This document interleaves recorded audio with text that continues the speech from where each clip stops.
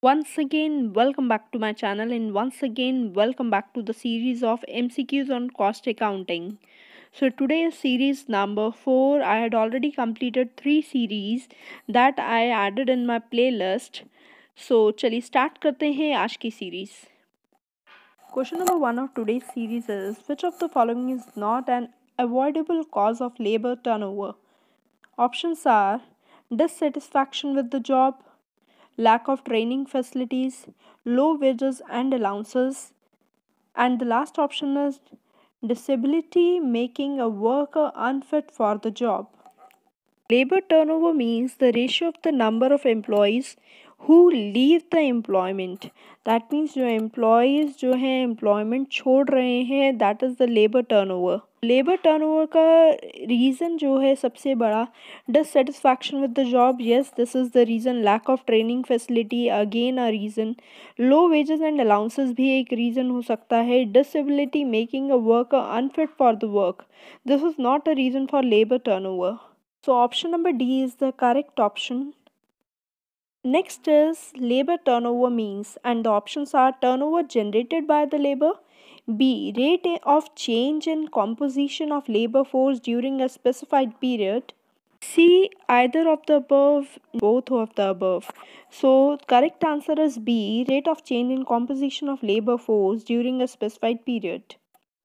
Calculate the reorder level from the following safety stock 1000 units, consumption per week 500 units. It takes 12 weeks to reach material from the date of ordering, and the options are 1000 units, 6000 units, 3000 units, and the last one is 7000 units. The Formula for the reorder level is equal to safety stock plus in brackets average rate of consumption into lead time. So in the question safety stock is given as 1000 units. Average rate of consumption is 500 units multiplied by 12 weeks is the lead time. So 1000 units plus 500 into 12 6000 so the answer is 7000 units. So point number d is the correct answer. Next question is cost of abnormal wastages is charge to the product cost, charge to profit and loss account. Next option, charge partly to the product and partly to the profit and loss account, not charge it at all. And the correct answer to this is cost of abnormal wastage is always charged to profit and loss account. So option number B is the correct option. Next question is service department cost should be allocated to A. Only service department B. Only production department C. Both the production and the service department D. None of the production and service department. So the answer to this question is Point number C. Service department cost should be allocated to both the production and the service departments. Question is uh, calculate EOQ from the following details. Annual consumption 24,000 units. Ordering cost 10 per order. Purchase price 100 per unit. Carrying cost 5% and the options are 310, 400, 290 and 300. So E Q का formula है under root two A O by C E Q पे already मैं lecture upload कर चुकी हूँ। Those who have miss the lecture because E O Q is very important part आप description box में जाके लिंक देख सकते हैं। वहाँ से आप ई ओ क्यू समझ सकते हैं।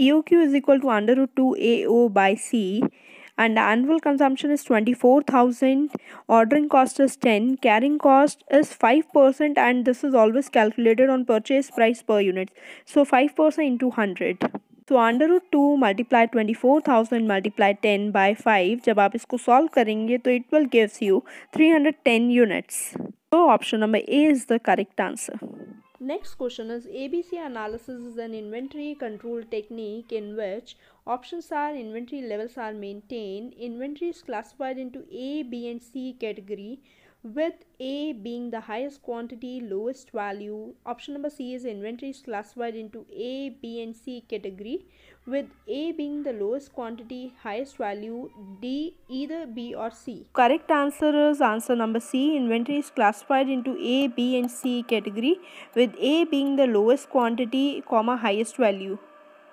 ABC analysis is an inventory control technique जिसका मैं लिंक डिस्क्रिप्शन बॉक्स में अपलोड कर दूँगी आप जो है वहाँ से जाके ए बी सी एनालिसिस की टेक्निक को एक बार समझ लीजिए, तभी आपको क्लियर हो पाएगा इस पार्ट का answer next question is blanket overhead rate is one single overhead absorption rate for the whole factory point number B rate which is blank और the null rate C rate in which the multiple overhead rates are calculated for each production department service department D always a machine hour rate So the answer of this question is the blanket overhead rate is Point number A, one single overhead absorption rate for the whole factory.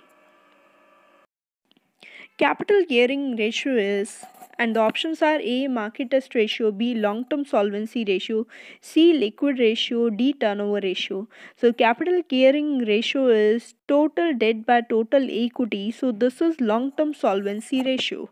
So the option number B is the correct answer. So the last question of today's series is most suitable basis for apportioning insurance of machine would be A floor area, B value of machine, C number of workers, D number of machines. So so, जब भी insurance होता है machines का वो होता है हमेशा value of machines के बेसिस पे तो हम जो अपोर्शनमेंट करते हैं वो वैल्यू ऑफ़ मशीन्स पे करते हैं तो option number B is the correct answer So that's all under today's series. Tomorrow I'll again upload one more series of cost accounting. If you haven't subscribed my channel as yet then please do like, share and subscribe my channel. And if you have any doubt regarding any question from the today's series then please do mention in the comment box. Thank you so much. See you tomorrow. Bye bye.